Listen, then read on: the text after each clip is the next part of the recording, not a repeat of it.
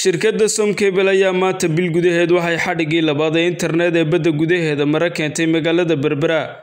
Munaasabadan oo ka qabsoontay isla magaalada berbera ayaa waxaa ka soo qayb galay maamulka gobolka wasiiro xildhibaano iyo marti sharaf kale oo aada u tiro badan.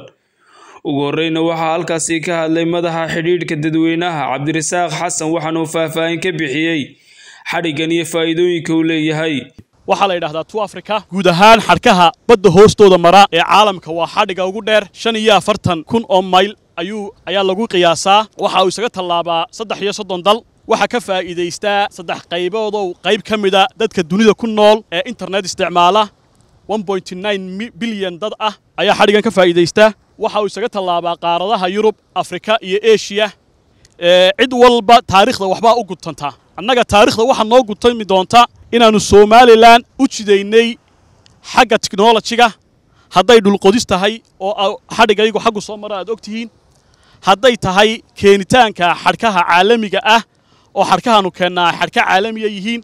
Kanina uu ka sii xag jiro oo uu xadhiggii dunida ugu dheeraa uu yahay. Geesta kale iyaguna halkaasi waxaa hadalka iska daba qaatay mas'uuliyiintii ka soo qayb galay madashani iyagoo shirkadda ku ammaanay dadaalka iyo horumarka ay ugu jirto somalilan waxaan u mahad celinayaa shirkadda somcable oo runtii horumar la taaban karo ka samaysay dalka somalilan dhammaantii horena waxyaabo fara badan oo horumara keentay runtii farxad weyn bay noo tahay in maanta horumaradii aanu ka wadnay dalka mid ka mid ah aad nagala soo qayb gashaan furitaankiisii runtiina waa himilo muddo badan soo socotay in ka badan toban sano aanu ku hamiyeynay annagoo somalilan ujeeddadeedu ahayd in dunida ay dhinaceeda ka raacdo waxaan u mahadnaqayaa shirkadda som cable oo runtii xadhiggii labaad ee internationalka ahaa keentay taasoo ka dhigaysa inuu bilaabmo habkii tiknolojiyadda ee beyska ay u noqonaysay berberi. Runtii waa somalilan iyo reer saaxiilba oo u sharaf in maanta la keeno kaybelkii labaad muddo bilah oo runtii ay noqon doonto degmada berbera habkii qaybin lahaa. Anuu midun baan sheegayaa keliya tilmaamaya waxa weeye maanta iyo bisha shan iyo tobankeedii oo xadhiggii hore labada xadhig ee hore waxaan ku tilmaami karaa inay yihiin fiber optic corridor.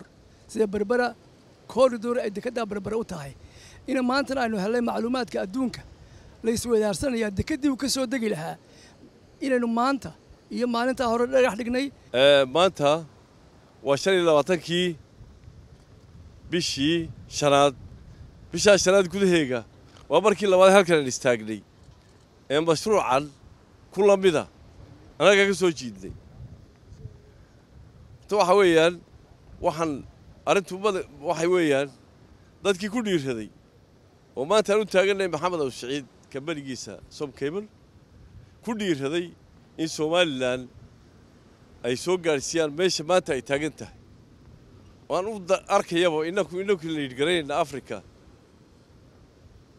aad iyo aad bay horta aan u boogaadinayaa waxaan halkan anuga mahadnaqayaa oon aad ugu soo dhaweynayaa shirkadda somcable oo xadhiggii labaad muddadaa bishaa ku keentay oon leeyahay. Waad ku mahadsantihiin inaad xadhigaa keentaan qayb weyn aad ka noqotaan horumarinta teknolojiga dalka. Xamse axmed ciid wararka telefishka codka bariga afrika magaala xebeedka berbera